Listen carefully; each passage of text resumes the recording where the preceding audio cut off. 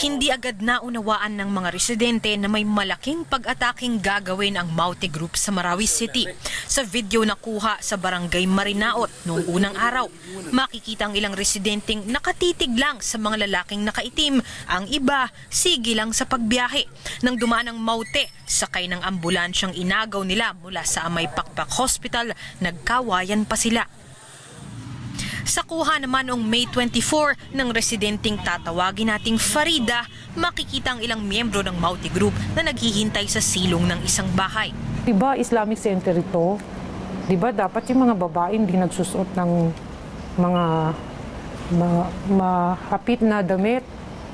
Tapos, di ba dapat walang alcohol dito? Pinagbabawalan naman, pinagsasabihan pa nga, eh kaso ay tumigil eh. O di ba dapat paluin sila? tinanong mo siya, bakit niya ito ginagawa? Para daw sa Islam. Kumbaga dapat daw yung batas Islam ang sinusunod. Tinanong pa ng mga kapitbahay ni Farida kung ano ang gusto ng Mauti Group. Anong advice niyo sa amin ngayon? Ano dapat namin gawin? dapat yung gawin yung Islam ay isang Kwento ng nagsalita, balik Islam siya at dating nagtatrabaho sa isang call center sa Maynila. Ayon kay Farida, mga bata pa at mukhang mga anak mayaman ang mga ito. Nagbabasa ng Quran sa kalsada habang minsan tinututok ang malalaki nilang armas. Matapang din silang magsalita. Kung may makitang naninigarilyo, sisitahin. Bapa, ah, bawal yung sigarilyo, itapon mo na yun. Isang matanda, binulsa pa. Sabi niya, Bapa, itapon mo na yung sigarilyo, bawal nga yun sa Islam.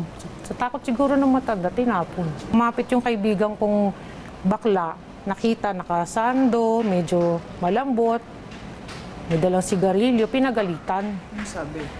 Di ba lalaki ka? Sabi niya, bawal sa Islam yan. Makalipas ang kalahating oras, lumikas na sina Farida at mga kapitbahay niya sa takot. Durog na ng gera ang komunidad na ito ngayon. Bata pa rin ang mga lalaki at babaeng naaresto noong isang gabi kasama ni Farhana Maute, nanay ng Maute Brothers. Dinatna ng mga otoridad na sugatan sina Zulkifli Maute at Abu Bashir Sulaiman na yun pala ay si alias Garmaute, kapatid ni Zulkifli. Pinabulaanan ng dalawa na may kinalaman sila sa teroristang grupo. Pero sa litratong nakuha ng ABS-CBN, makikita ang dalawang magkapatid na nagte-training sa butig, nakaitim, armado at nakasuot ng tatak ng ISIS.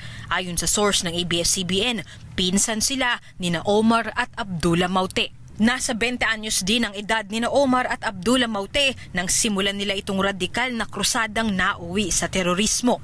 May kaya ang kanilang pamilya at aral ang dalawa sa ibang bansa. Pero hindi maunawaan ni na Farida at ng mga biktimang Muslim ng Marawi kung bakit naisip ng grupong Maute na magpakalat ng ganitong klasing karahasan. Shara Zambrano, ABS-CBN News.